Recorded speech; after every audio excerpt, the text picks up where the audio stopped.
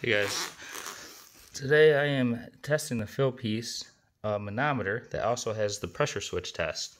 So one of the hoses goes to the pump and then one goes to your P1.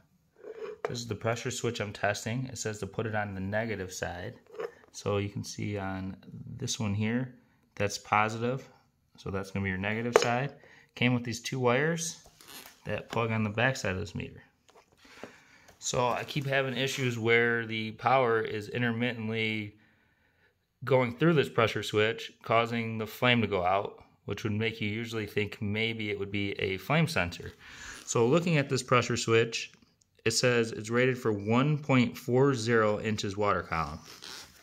So what I do is I press the test button on here, okay, and then the close thing right here will show me when that switch is closed. Okay? So keep in mind 1.40 inches water column. So you can see the switch is closed. As soon as we hit 1.32 there, the switch opened back up.